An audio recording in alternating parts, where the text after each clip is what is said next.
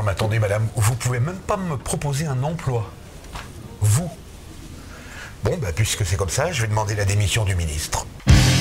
Non mais, non mais comment ça, je suis à découvert? Non, je vais demander la démission du ministre. Non chérie, ça te dirait ce soir de... Un petit câlin tous les deux? Non, tu as mal à la tête. Bon. Eh bien, puisque c'est comme ça, je vais demander la démission du ministre. Dites, je peux la récupérer quand, ma voiture? Après-demain matin Ah non, non, non, hors de question. hein. Moi, je la récupère ce soir. hein.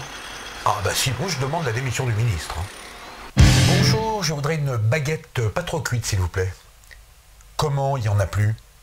Non mais c'est que ça va pas se passer comme ça. hein. Moi, je vais demander la démission du ministre, vous allez voir.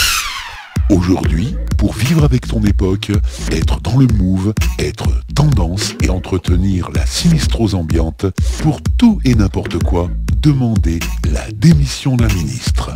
C'était un message de Lumpe du FNE.